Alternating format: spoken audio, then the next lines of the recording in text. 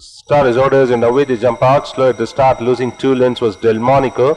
And blazing speed on the outside takes the charge and dash, dashes clear by about three parts, a length clear of Samba. Another two lengths behind a pair, Parisat on the outside of Golden Adara. Two and a half lengths behind is Daisy's Dream, already being pushed hard. Five to six lengths behind Nikola Tesla.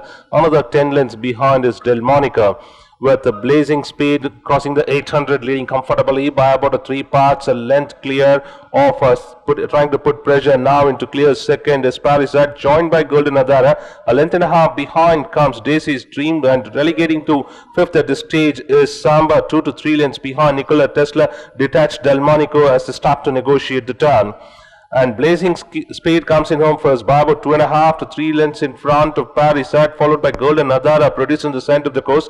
They followed then by Samba, Daisy's Dream, Nikola Tesla, forget Delmonica. Inside the last 250 now, rider goes for a whip. One, two reminders for blazing speed to keep him alighted by about two and a half, three from Parisat, Golden Adara. They followed then by Samba, Daisy's Dream. But inside the last 75, it's a one horse race with uh, blazing speed justifying the favoritism by 3 to the good of uh, Parisat, Golden Adara, Samba, Nikola Tesla, followed by Daisy's Dream, Delmonico, finishing last. And one runner did not jump out, and that's Tyrion. So Tyrion got planted.